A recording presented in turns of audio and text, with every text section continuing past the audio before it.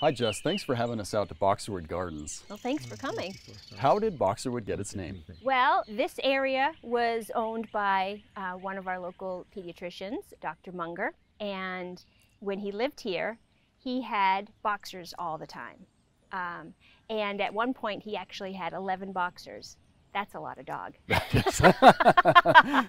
and he ended up delivering many kids in this area, and now Yes. uh, children's education is a primary focus of, of Boxerwood, right? Very much so, very much so. In fact, um, parents, people that were um, born by Dr. Munger, their children have come through here. They, their children, it's really pretty amazing. That's a wonderful story. Yeah. We're here in the natural play area. Can you tell us a little bit about some of the fun activities that are engaging for kids? Sure, sure. So this space is really based on playing outside like we did when we were children.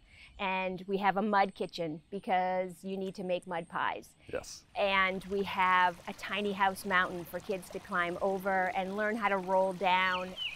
Just be outdoors in nature, listening to all the birds, being muddy. That's the big thing here, is just to be a kid. There are so many birds going on right now. There are. It's lovely.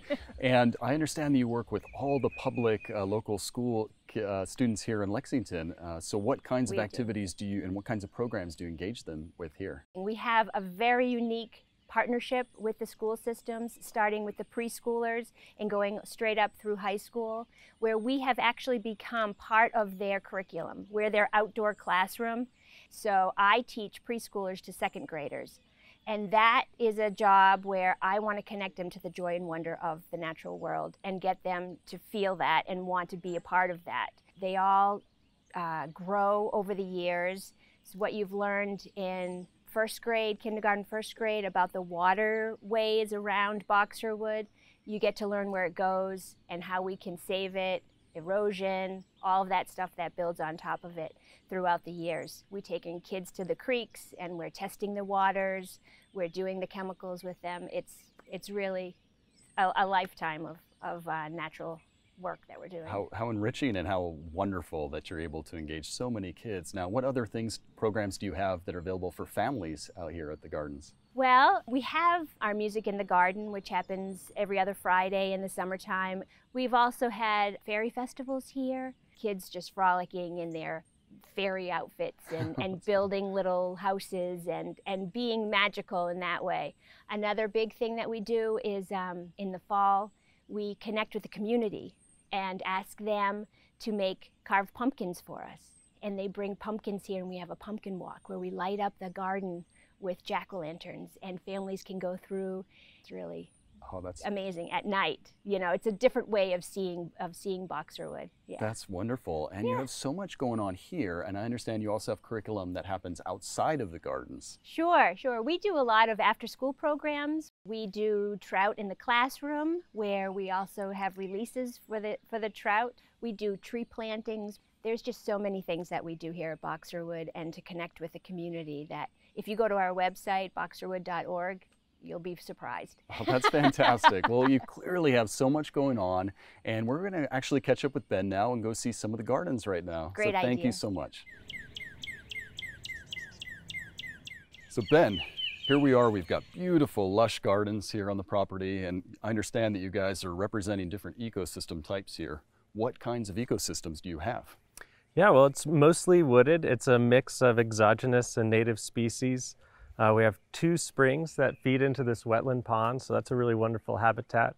Uh, we have another uh, runoff fed pond, and we also have an open field that's great bird habitat and represents uh, a meadow ecosystem.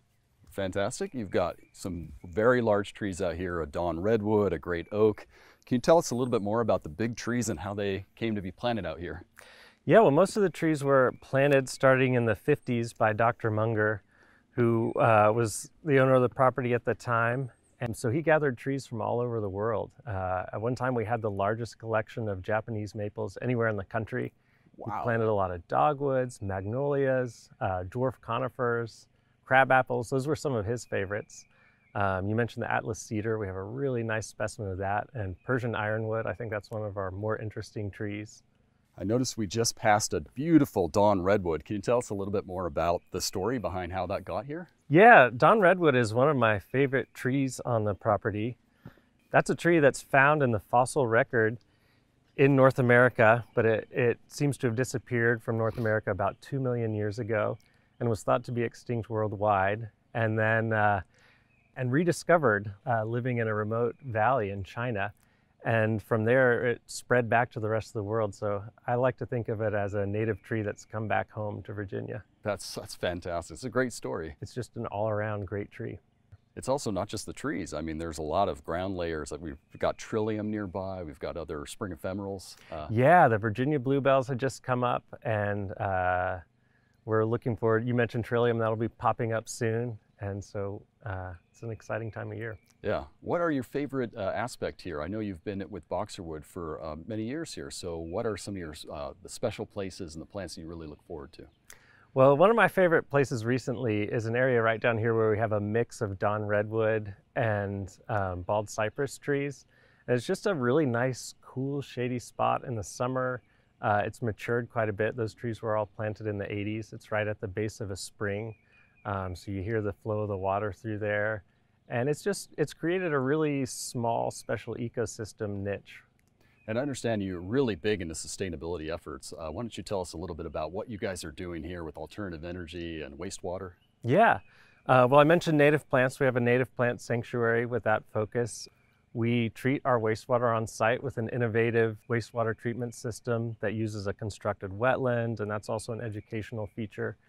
Just last month, we converted fully to solar power, so we installed a new solar array.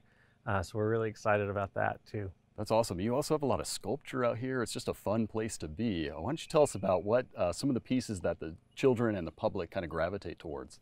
Yeah, well, um, Boxerwood is just, it's a community place. So we actually have pieces of art that sometimes appear overnight from local artists who just have something they want to share with the public.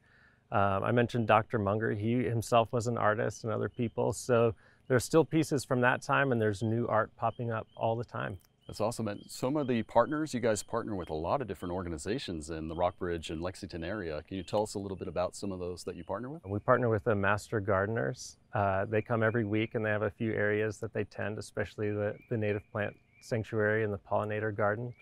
Uh, we partner with the Bird Club and with Master Naturalists.